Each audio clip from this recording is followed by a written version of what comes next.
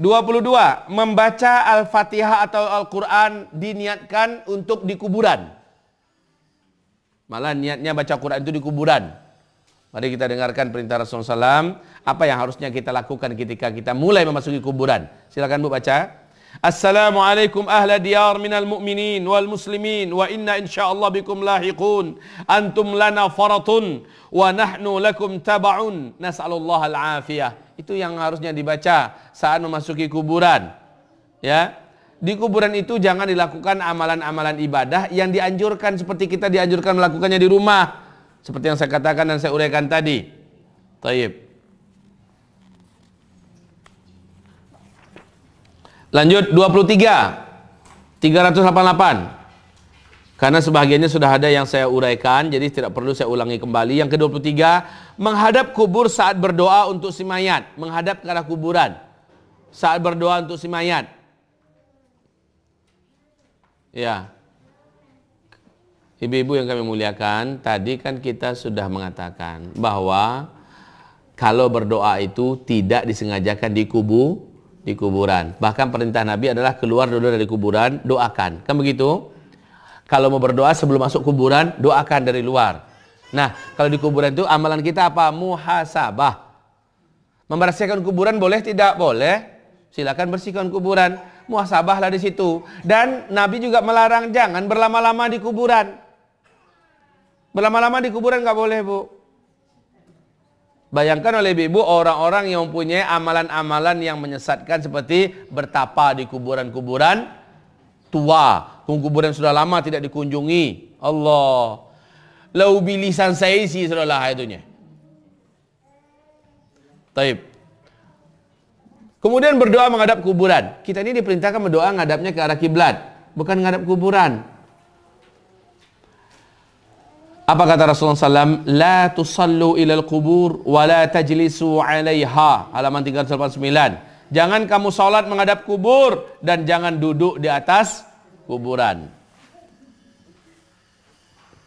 Nomor 24, duduk di atas kuburan. Ini dilarang. Duduk di atas kuburan. Inilah Bu, kalau seandainya kuburan itu sudah disemen-semen, akhirnya tersolama lo monggokkan badan deteh. Deteh makam tuh Dicakau juga di belakang udah tahu. Ah, garah bu. Ya artinya kita memang dilarang. Ada hadisnya. Apa kata Rasulullah SAW? La ayyajlisa ahadukum ala jamratin fatuhriqa thiyabahu fatakhlusa ila jildihi khairul lahu min ayyajlisa ala qabrin. Artinya, duduk di atas baru api yang sedang menyala tu ha lebih rancak daripada duduk di atas kuburan. Terus? Kemudian bajunya terbakar hingga sampai ke kulit itu. Ha. Lebih baik baginya daripada duduk di atas kuburan. Bu, ibu kalau tahu sedang duduk di atas api di atas baru sedang menyala, apa yang ibu buat capek? Ha? Terperanjat ya, segera berdiri dan menjauhi itu. Betul tidak? Harusnya seperti lebih daripada itu ketika ibu yang ternyata yang ibu duduki adalah kubu kuburan. Ya.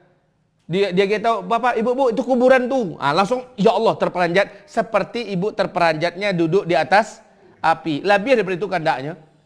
Ya. Kok nyampai yang dalam kuburan itu keluar tangannya tetap tapuk pinggul awak. Garah, Bu, garah. Ya, artinya sampai sebegitu ibu takutnya harusnya. Ya. Keluar tangannya Bu di kuburan tuh. Ruang gua kedudukan kuburan yang. Begitu kecilnya kan. Ah, ibu seperti ibu itu ibu takutnya kalau saya kalau Nabi mengistilahkan seperti di atas bara api yang menyala. Tabaka pakaian awak sampai ke kulit awak itu lebih rancak daripada duduk awak di ku kuburan. Nah. Ba?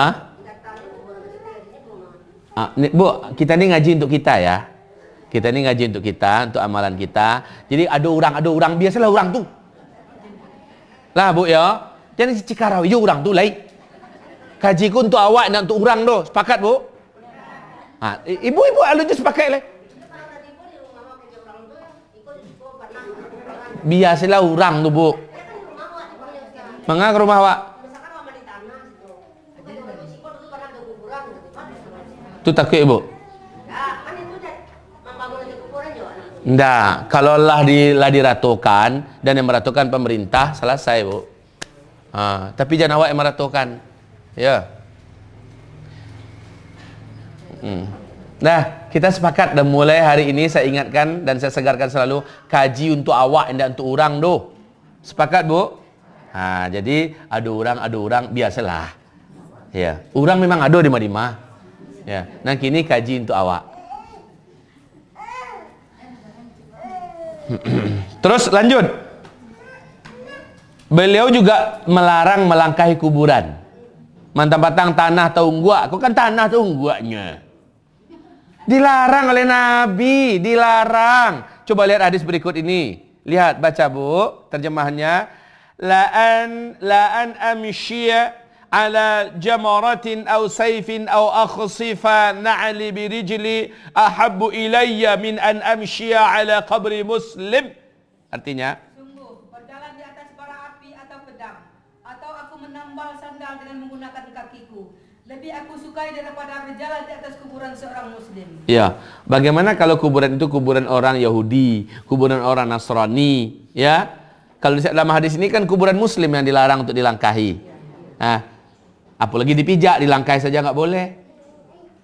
Apalagi dipijak, begitulah dalam Islam ini menghormati seorang muslim. Ambo bertanya cek bu, seolah-olah orangku masih dianggap hidup dan nyado sedang sedang lalu di teh. Kan begitu bu ya? Boleh nak melangkahi badannya.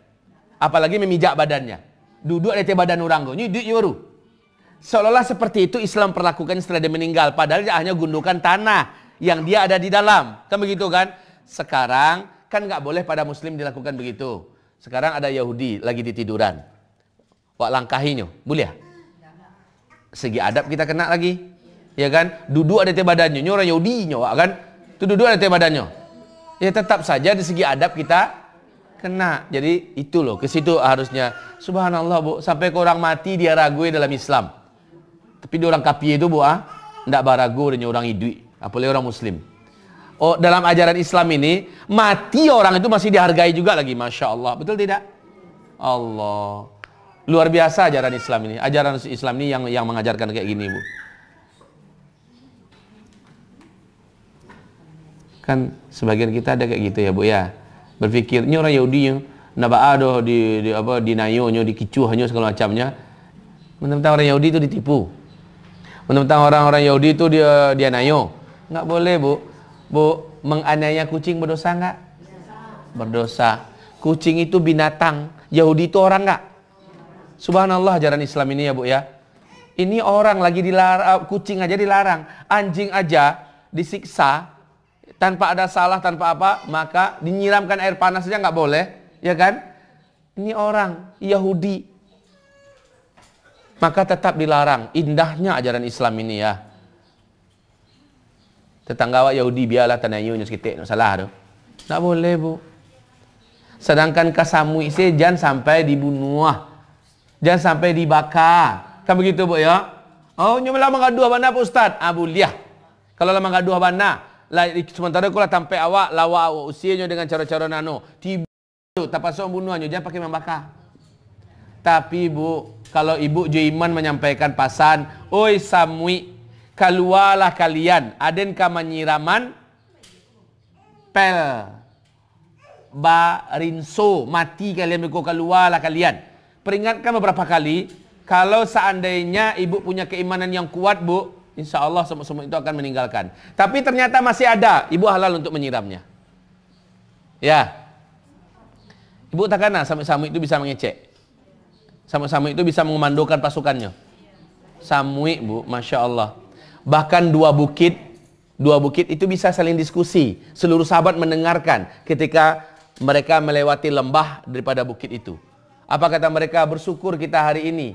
Lembah kita dilewati oleh orang-orang soleh. Kata mereka. Tadanga di seluruh sahabat.